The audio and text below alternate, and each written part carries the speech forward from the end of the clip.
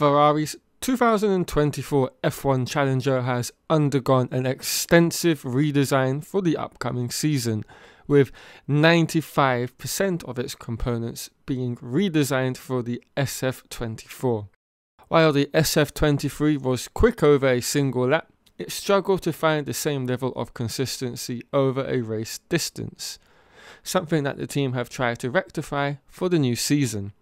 It's too early to state whether those targets have been achieved, given the SF24 has only just had its shakedown at Fiorano, but given this car finally has the ability to fully implement the in season changes the team made in adopting Red Bull's leading car philosophy at Barcelona in 2023, they should see some impressive numbers coming out of the wind tunnel the Ferrari SF24 bears a much more striking resemblance to that of last year's dominant RB19, having had the winter to design a completely new chassis around the downwashed side pod concept that the Red Bull outfit employs. Gone is the protruding lower side impact structure that was evident across both of the side pod designs Ferrari utilized last year with it now firmly housed lower down within the SF24's floor structure. This frees up a considerable amount of space, which they've used to good effect. The side pods for 2024 now have a steep undercut thanks to the lowering of the SIS fairing to help manage the undercut flow and side flow towards the rear of the car. Ferrari have also introduced the lower underbite lip that Red Bull used on their RB19. Again, all these changes are aimed at helping to guide the airflow into the outlet as well as over the side pods towards the rear end.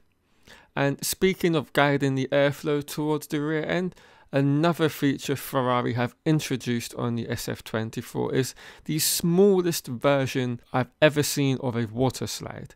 It's far less aggressive than that of either of McLaren and Aston Martin's and finishes or rather starts a lot further back in the side pod than either of those two teams. Also take note to how aggressive the undercut is on this side pod. It's just as aggressive as the undercut on the Aston Martin, which was equally impressive. Ferrari's front wing and nose has undergone a few structural changes. One such notable change is to the nose. The nose itself is now more rounded than that of the predecessor's SF23, and it has different fixations to the main plane, which also has more of a rounded curvature in the central area. Another notable change from this year when comparing to last year is the fact that they've got rid of the slot gaps on the upper two elements of the front wing. Whether these return at any point in season, only time will tell. The front suspension is another area that's had a lot of attention paid to. While the team have stuck with a pushrod layout suspension, they have made changes to the geometry for 2024 with the aim of increasing the level of anti-dive produced.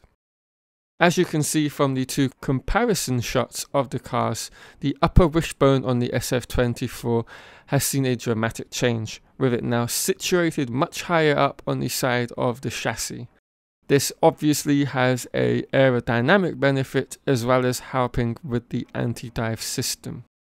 Turning our attention to the halo on the Ferrari, there is a novel kind of winglet that's been introduced with it this year. Uh, it's obviously being used to direct airflow in a certain direction, which is obviously towards the rear end. And this will help guide airflow over the cannon outlet of the engine cover, which for this season is also another change that they've implemented. Again, taken from Red Bull and their RB19.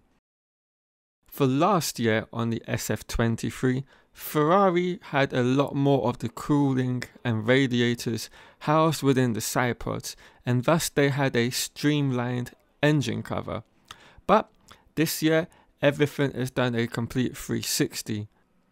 And for the SF24, the team have now chosen to go the route of having much more centerline cooling this season.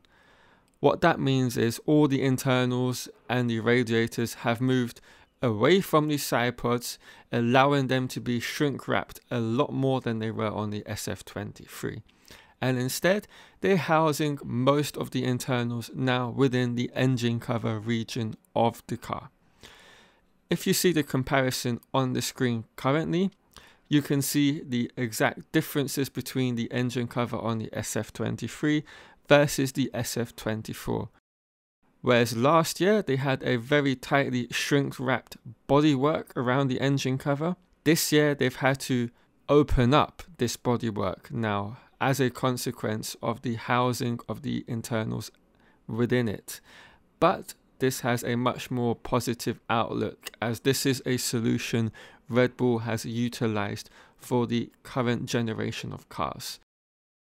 In closing, while the Ferrari may on the surface look like there's not been much of a refinement taking place.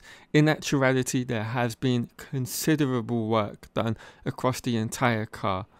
Uh, and what I believe this is going to enable them to do throughout the year is develop a lot more cleanly than they did last season, all in one direction.